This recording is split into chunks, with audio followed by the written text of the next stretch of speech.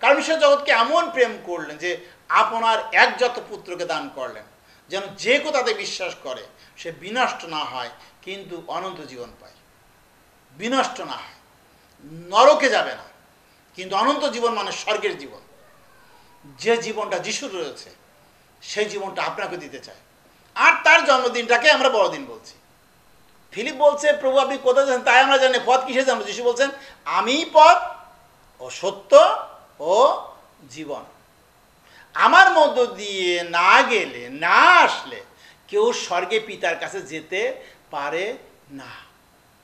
আর তার জন্মদিন আমরা বড়দিন বলছি। যিনি আমাদের স্বর্গে নিয়ে যাওয়ার জন্য আবার দুনিয়ার শেষের দিকে তিনি আসবেন এবং তার অনুসারীদেরকে কেবলমাত্র তিনি মেঘরথে করে স্বর্গে নিয়ে যাবেন। আমরা দেখতে পাই যিশুর জন্ম হয়েছিল, বোতলহমের গোয়াল ঘরে জন্ম হয়েছিল। বোতলহমের গোয়াল ঘরে তার জন্ম হয়েছিল? গোয়াল ঘরে। আপনি শুনেছেন? যিনি রাজাদি রাজ, তার জন্ম হয়েছে গোয়াল ঘরে। একটা অবাক কাণ্ড। অবাক কাণ্ড। কেন গোয়াল ঘরে জন্ম নিলেন? রাজার ঘরে কেন জন্ম নিলেন না? তিনি এসেছেন, পাপি তাপি দুঃখীদের জন্যই এসেছেন। তাই তিনি জীর্ণ শীর্ণ ঘরেই জন্ম নিয়েছেন। দেখেন গোয়াল ঘরে অনেক দুর্গন্ধ থাকে, ময়লা থাকে, আবর্জনা থাকে, মশা মাছি থাকে। যিশুর জন্মে কিন্তু সেগুলি আর ছিল না। যখন যিশু জন্মগ্রহণ করেছিলেন, সেখানে স্বর্ণ, কুন্দুর ও গন্ধরস, যেখানে ধূপ দিলে পরে কি হয়? মশা মাছি আর থাকে না এবং দুর্গন্ধ থাকে না।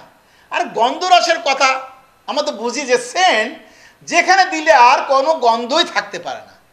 যিশু জন্মের কারণে, দেখেন গোয়াল ঘরে, গোয়াল ঘরটা দামি হয়ে উঠল এবং সেই জায়গাটা দুর্গন্ধমুক্ত হলো। আপনার হৃদয়টা হয়তো বা পশু বাস করে, হিংস্র প্রাণী বাস করে, কারণ আপনি রাগী মানুষ, আপনি কুখ্যাত মানুষ হতে পারেন, আপনি খুব অহংকারী মানুষ হতে পারেন, এগুলো পশু থাকার একটা ব্যাপার। আপনার অনেক রাগ থাকতে পারে আপনার চুরির অভ্যাস থাকতে পারে, আপনার মিথ্যা কথা বলার অভ্যাস, এগুলো দুর্গন্ধ। যেখানে পশু বাস করছে, এগুলো দুর্গন্ধ স্বরূপ। আপনার মধ্যে সেগুলি আছে, থাকতে পারে। কিন্তু একবার যিশুকে জন্ম গ্রহণ করতে দেন না আপনার জীবনে, একবার গ্রহণ করুন না আপনার জীবনে, দেখবেন আপনার নোংরা ঘরটা দামি হয়ে উঠবে। এবং যে দুর্গন্ধগুলি আপনার ছিল আর থাকবে না চ্যালেঞ্জ থাকবে না। যিশুকে আপনার হৃদয়ে স্থান দিলে, আপনার দুর্গন্ধ আর থাকবে না, সে দূরে পালাবে সেটা। দূরে পালাবে। দামি ঘর হয়ে উঠবে সেটা। অনেক দামি। অনেক মূল্যবান হয়ে উঠবেন আপনি।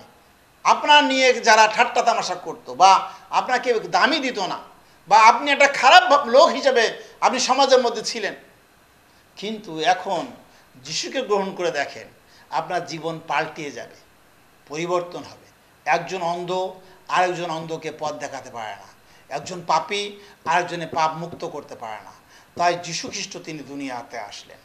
আপনার আমার উদ্ধারের জন্য, রক্ষার জন্য। আর তার, সেই জন্য তার জন্মদিনটাকেও আমরা আমরা বড়দিন বলছি।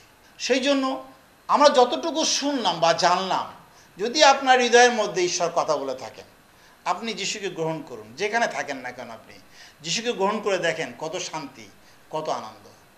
প্রভু আমাদেরকে আশীর্বাদ করুন। আমেন।